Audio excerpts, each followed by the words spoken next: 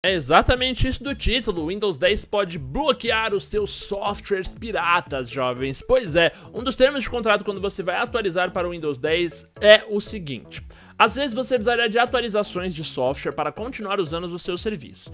Podemos verificar automaticamente sua versão do software e baixar atualizações do software ou das alterações de configuração, incluindo aquelas que o impedem de acessar os serviços, jogando jogos falsificados ou usar dispositivos periféricos de hardware não autorizados. A notícia lá do UOL Jogos, tá? O trecho tá lá, vou deixar o link aí na descrição para que vocês possam conferir. E o que isso quer dizer? Que se você tiver um software, uh, aliás, que a, o Windows ele vai controlar todo, todo o estado de atualizações, de necessidades que o software do seu computador tem. Então, uh, na verdade, ainda não aconteceu com ninguém. Ninguém falou, ah, não, o Windows deletou o meu jogo pirata, a minha parada pirata.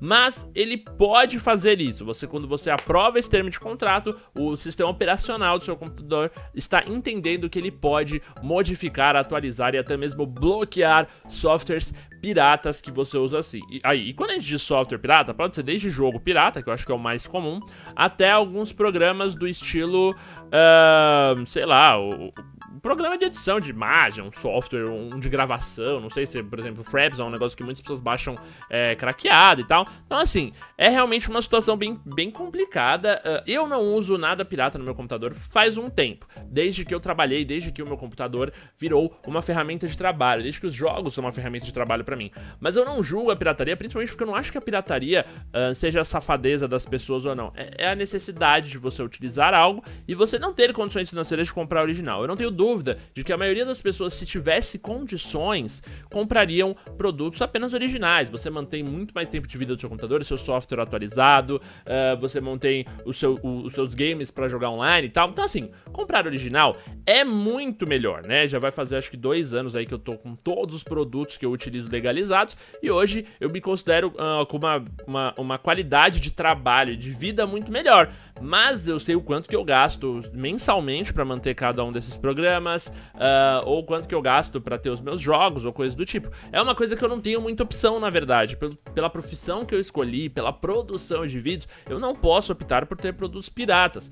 Mas infelizmente é hoje uma solução para muitas pessoas que não têm condições financeiras tão boas, né? É a única solução, digas de passagem, porque apesar de existirem opções gratuitas, é, grátis, né, de, de, de, natureza ali, o software que ele é lançado de maneira gratuita, ainda muitas vezes não resolve completamente o problema das pessoas. Uma das coisas que eu defendo é que para se combater a pirataria, você tem que oferecer serviços que a pirataria não consegue oferecer, certo? É, eu digo, por exemplo, o sistema online de PlayStation 4, Xbox One, cara, você até pode, eu acho que saiu o desbloqueio, se não me engano, pro Play 4, coisa do tipo. Você pode desbloquear o seu console e ter ele lá com um monte de joguinho no HD e tudo mais. Mas você não vai poder jogar online, você não vai ter atualizações, você vai viver com medo. Então eu acho que a pirataria, ela perde pro produto oficial quando o produto oficial tem diferenciais que compensam isso. Então, por exemplo, um jogo. Caralho, por que, que eu vou comprar esse jogo de 200 reais sendo que eu posso pagar 15 no camelô ali na hora da feira. Cara, porque o de 200 reais você vai jogar por um ano com online, com os upgrades, com DLC e etc.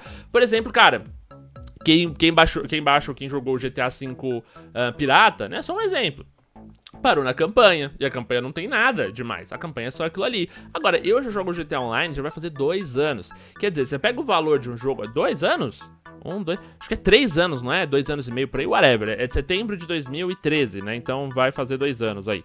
Uh, cara, então você pega um, um, game, um jogo que eu jogo há tipo dois anos praticamente. Você divide aí o valor dele, sei lá, 200 reais que eu paguei na época por 24 vezes, tá ligado? E o GTA ainda é um jogo que o DLC é gratuito e tal. Então, assim, nesse, nesses longos de mês, cada mês que vai passando é, um, é, uma, é uma parcela do jogo a menos, sabe? É uma divisão a mais do jogo. Então, você dividir, dividir um jogo de 200 reais em 24 vezes, dá menos de 10 reais por mês, sabe? Então, compensa hoje, uh, para mim, na verdade, eu não tenho muita opção, mas eu honestamente eu, eu, eu, gosto dessa parada do software original. Agora, o meu computador decidiu o que, que eu vou instalar ou não no meu, no meu computador, né? O meu, o meu sistema operacional decidiu que eu vou poder utilizar ou não, eu acho muito errado. Não é a Microsoft, não é o sistema operacional, tem que dizer que se algo é pirata ou não. Se as empresas querem combater a pirataria, elas que sejam competentes, tá? E não, a, e não um esqueminha onde ele venha e simplesmente apague um programa, não me deixa utilizar um programa, eu acho um absurdo. Quer dizer, eu tenho a liberdade de instalar e de jogar e de usufruir do meu computador da maneira que eu quiser. Não é o sistema operacional que vai decidir isso, eu acho extremamente errado, tá? Mas enfim, tá aí mais uma notícia aí que preocupa um pouco a gente aí pela nossa liberdade de utilização do que é nosso, né? Daquilo que a gente comprou. Quero saber a opinião de vocês, o que, que vocês acham disso. Imagina se bloquear um negócio que você baixou pela Tex aí no seu PC, você ia ficar feliz? Comenta aí nos comentários, é, deixe seu comentário aí, deixe sua opinião no campo dos comentários. Quero saber o que, que vocês acham. Queria agradecer o apoio de todos vocês que assistiram o vídeo até aqui. Um abraço do Patife, até a próxima e valeu!